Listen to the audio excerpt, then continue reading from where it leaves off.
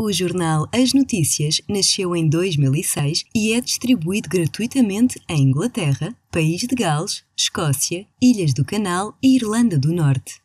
Este jornal tem vindo assim a preencher um espaço importante, vinculando uma informação séria e independente aos mais de 600 mil portugueses imigrados no Reino Unido chegando também a 1 milhão e 400 mil portugueses através do nosso website asnoticias.co.uk.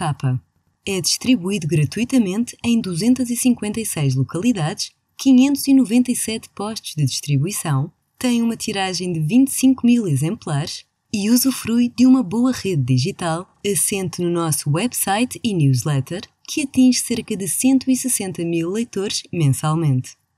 O jornal é lido também por britânicos, pois conta com uma secção em inglês.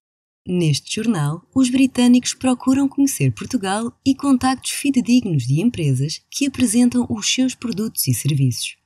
Ao contrário de outros jornais, em cada edição em papel, trabalhamos em regime de exclusividade, ou seja, apenas publicitamos uma empresa por setor de atividade.